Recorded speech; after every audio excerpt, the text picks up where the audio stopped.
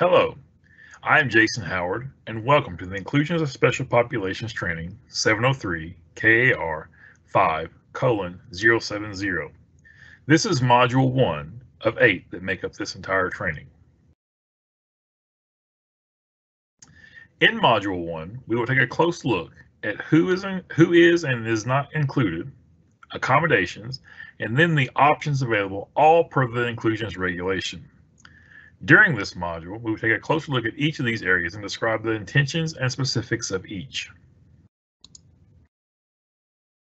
So the first part represents inclusion, and inclusion means to do just as it sounds, to include.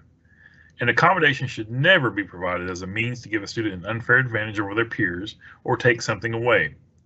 It is meant to provide the same level of opportunity as everyone else, to include in the same manner, in this part of the training, we are going to look at students who are included, those who are not, and the definition of an accommodation.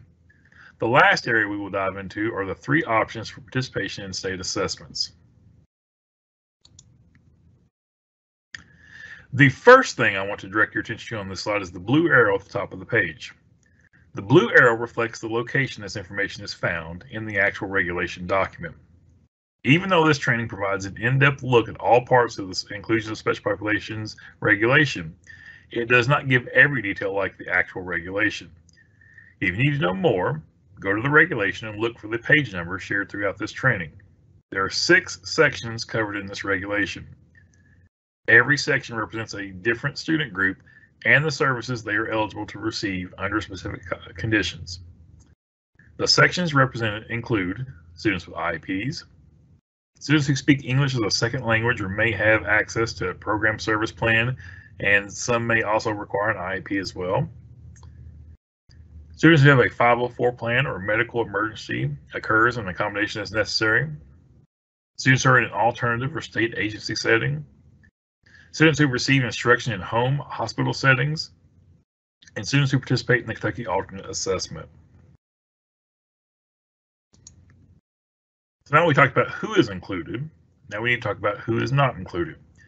So most students are covered in this regulation in some way. However, there are some groups of students that this regulation does not represent. Those are students who may age out at 21 years of age or older.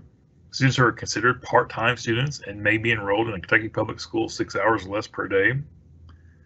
The last group would be students who are enrolled in a general education program or GED that is not part of a Kentucky public school system. As noted earlier, most students are represented throughout.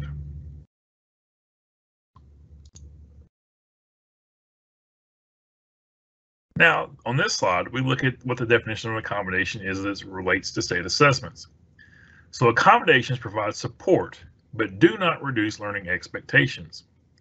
Accommodations are individualized and specifically designed to aid in learning. Not all accommodations can be faded over time because not all students will be able to move toward greater independence due to the nature of the disability.